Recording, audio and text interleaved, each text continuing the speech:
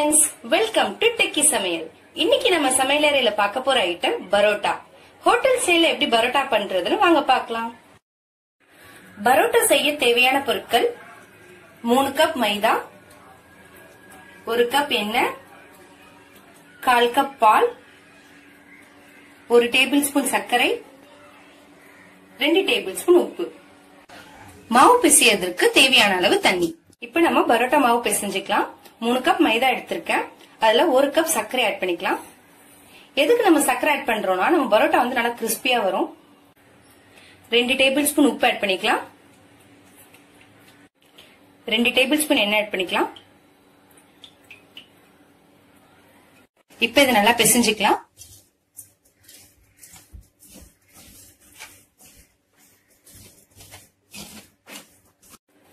கால் cup பால் add பண்ணிக்கலாம்.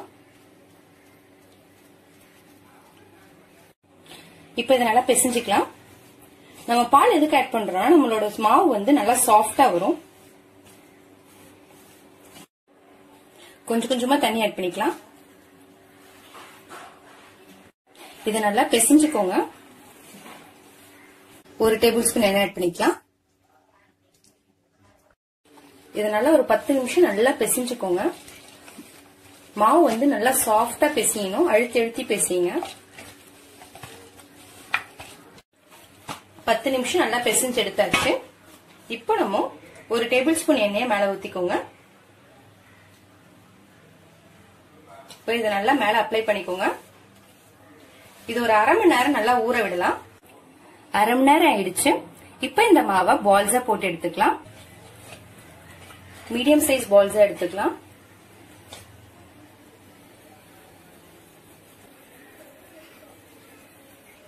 இந்த மாதிரி எல்லா மாவையும் பாயில்ஸ் போட்டு எடுத்துக்கிறேன். எல்லா மாவுகளையும் உருண்டை போட்டு எடுத்தாச்சு. இப்ப கொஞ்சமா எண்ணெய மேல ஆட் பண்ணிக்கோங்க. நல்லா எண்ணெய மாவு மேல தடவிக்கோங்க. இப்போ இந்த மாவை ஒரு ஒன் ஹவர் நல்லா ஊற விடுங்க. அப்பதான் வந்து நமக்கு பரோட்டா சாஃப்டா வரும். மாவு நல்லா ஊறிடுச்சு. இப்போ நம்ம பரோட்டா மாவு நல்லா திரட்டி எடுத்துக்கலாம். நல்லா நீட்டா திரட்டிக்கோங்க.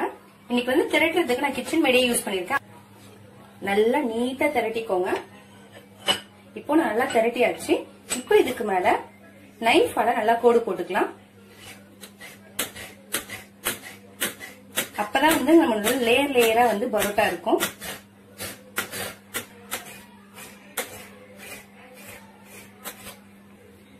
இப்போ லேயர் போட்டக்கு அப்புறம் கொஞ்சம் கொஞ்சமா இத நவுத்திட்டே வாங்க. நல்லா எல்லாத்தையும் ஒன்னா சேர்த்துக்கோங்க.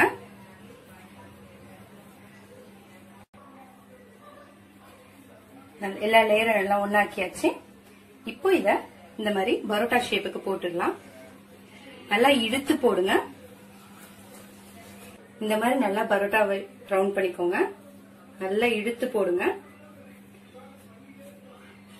இப்போ இதுக்கு மேல நம்ம கொஞ்சமா எண்ணெய் ஆட் பண்ணிக்கலாம். இந்த மாதிரி எல்லா மாவுகளையும் திரட்டி எடுத்துக்கலாம். எல்லா மாவுகளையும் திரட்டி எடுத்தாச்சு. இப்ப இந்த மாவை நல்லா கையால அமுத்திக்கோங்க. இப்ப இந்த பரோட்டா மாவை நம்ம தவளை போட்டு எடுத்துடலாம். தவாவை மீடியம் ஃபிளேம்ல வச்சு நல்லா ரெண்டு சைடும் வேக வைங்க.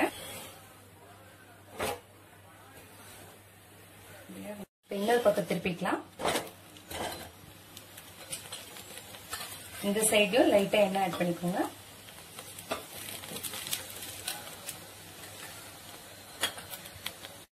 நல்லா மீடியம் ஃப்ளேம்ல வச்சு ரெண்டு பக்கமும் நல்லா வேக விடுங்க. பரோட்டா ரெண்டு பக்கமும் நல்லா வெந்துடுச்சு. இப்ப இந்த பரோட்டாவை நம்ம பிளேட்டுக்கு மூவ் பண்ணிடலாம். இந்த மாதிரி எல்லா பரோட்டாவையும் நான் போட்டு எடுத்துக்கிறேன். எல்லா பரோட்டா மாவையும் நான் போட்டு எடுத்தாச்சு. இப்ப இந்த பரோட்டாவை கொஞ்சம் சூடா இருக்கும்போது நல்லா அடிச்சுக்கோங்க. அப்பதான் நமக்கு லேயர் லேயரா வரும். எல்லா பரோட்டாவையும் பிளேட்டுக்கு மூவ் பண்ணியாச்சு. இந்த பரோட்டாவை நீங்களும் வீட்ல ட்ரை பண்ணி பாருங்க. எப்படி இருக்குன்னு கமெண்ட் செக்ஷன்ல சொல்லுங்க. இன்னைக்கு இந்த பரோட்டாவுக்கு நான் சால்னாவை சைட் டிஷ்ஷா எடுத்திருக்கேன். இந்த சால்னா எப்படி செய்யறதுன்னு டிஸ்கிரிப்ஷன் பாக்ஸ்ல லிங்க் கொடுத்திருக்கேன். அதை பாருங்க. இந்த வீடியோ உங்களுக்கு பிடிச்சிருந்தா மறக்காம டெக்கி சமையலுக்கு சப்ஸ்கிரைப் பண்ணுங்க. தேங்க்யூ ஃபார் வாட்சிங்